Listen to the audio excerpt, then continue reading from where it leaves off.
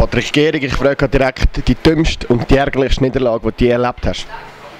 Ja, es gehört sicher zu denen, also zu denen kann man sicher zählen. Es ist sicher blöd gewesen, dass wir wieder einen Vorsprung haben probiert zu verhalten und nicht weiter Hockey gespielt also haben und von dem her ist es sicher schlecht gewesen, ja. Ihr geht 1-0 in Führung, sind dann zwar nicht die bessere Mannschaft, aber könnt den äh, Vorsprung verwalten. Hat man es im zweiten Drittel nicht verpasst, mehr auf den Körper zu spielen, mehr Druck auf den Gegner zu bringen und ihn weniger lassen, äh, den Puck zu zirkulieren lassen? Ja, sicher. Also, wir haben aufgehört, unsere Beine bewegen und das war sicher ein grosser Punkt, wo wir also verpassend zu machen. Sicherlich haben wir auch viel zu viel Strafen genommen. Ich meine, im zweiten Drittel haben wir etwa nonstop können, äh, also müssen Boxplay spielen und das kann natürlich zum Verhängnis werden. Neben dem, dass er nicht wirklich clever gespielt haben, ist auch noch ein eine unglückliche Schiri-Entscheidung oder mehrere unglückliche Schiri-Entscheidungen bekommen belastet das zusätzlich als Spieler, wenn man da die ganze Zeit noch, neben dem, dass man schon selber dumme Strafen kassiert, auch noch immer auf der Strafbank guckt, weil er ein anderes Gefühl hat, dann müsste etwas pfeifen. Ja, sicherlich sind damals die Entscheid fraglich, aber ich meine, was willst du? Wir können nicht beeinflussen, wir können nicht ändern und wir müssen einfach probieren clever zu spielen, dass wir ihm nicht die Chance geben, überhaupt äh, Strafen zu pfeifen. Jetzt ist der Matthias Seger recht durchgehend in der Garderobe.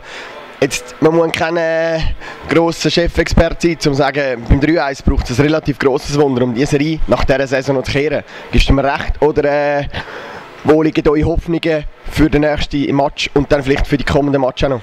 Ja, ich meine, wir sind jetzt Klot immer relativ knapp dran gewesen. und wenn wir eine gute Leistung zeigen, wie das letzte Mal hier im Hallstadion, dann können wir sicher in Klot äh, den Sieg holen und ich denke, wenn wir den Sieg haben, können wir mit sehr, sehr viel Selbstvertrauen zurück hier in die Halle, hoffentlich wieder voll und nachher werden wir wieder auf Kloten gehen. Ich denke, ich meine, es ist eine Serie Best of Seven, es ist immer alles offen und so, vorhin haben wir gehört, sie haben schon gejubelt und so. Ich denke, die meinen schon mehr oder weniger, es ist fertig und von dem her liegt da sicher unsere Chance. Ich hoffe, wir dürfen am letzten, nächsten Dienstag nicht das letzte Mal unterstützen. Danke mal, Patrick Gehring. Lukas Flüeler, für dich eigentlich eine komische Serie. Du äh, spielst jetzt Mal Nummer 1 der Playoffs, spielst eine super Serie und gleich sind wir jetzt 3-1 hinten. Was bedeutet das mehr? Wahrscheinlich das 3-1 hinten, oder? Ja, sicher. Ich meine, das schießt uns alle ein bisschen an, wortwörtlich gesagt. Weil schlussendlich ist es immer knapp gewesen. Wir haben gewusst, die Serie wird knapp, aber wir haben sicher gehofft, dass es ein, zweimal mehr auf unsere Seite kippt. Heute ist es wieder nicht auf unsere Seite gekippt. Im zweiten Drittel haben wir mit ein bisschen Strafe Energie liegen lassen und äh, ja, schlussendlich im dritten Drittel wieder das Spiel verloren. Das ist ärgerlich, aber so lange können wir nicht mehr darüber nachdenken. Bevor wir auf die Serie sprechen, wir doch noch mal kurz auf deine Person. Ein wichtiger Entwicklungsschritt, gleich die Playoffs für dich persönlich, oder? Ja, es ist meine erste Playoffs seit langem, seit der Junior Elite. Das ist schon vier, fünf Jahre, ist das wieder meine erste Playoff, wo ich auch anfangen konnte. Es macht sicher Spass, es ist ein Druck und noch gegen Kloten, aber ich habe super Unterstützung von der Mannschaft. Äh, sie blockieren die Schüsse und alles. Auch die Fans unterstützen mich und das gibt mir natürlich sicher Sicherheit.